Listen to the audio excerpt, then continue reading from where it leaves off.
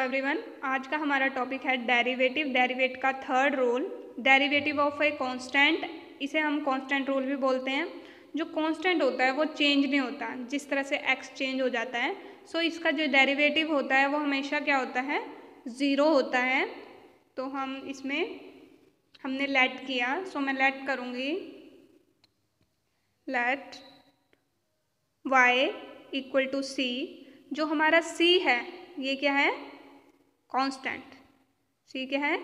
Constant so so, इसका derivative निकालूँगे। D Y divide by D X D Y की जगह लिख लिया सी डी एक्स अब इसका डेरिवेटिव क्या होगा? Zero.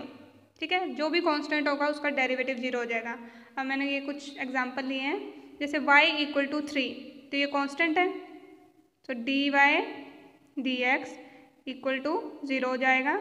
Y equal to six ये कांस्टेंट है तो D Y divide by D X equal to zero ये डेरिवेटिव ज़ीरो आ गया, y equal to nine so D Y divide by D X equal to zero इसका भी derivative zero आ जाएगा।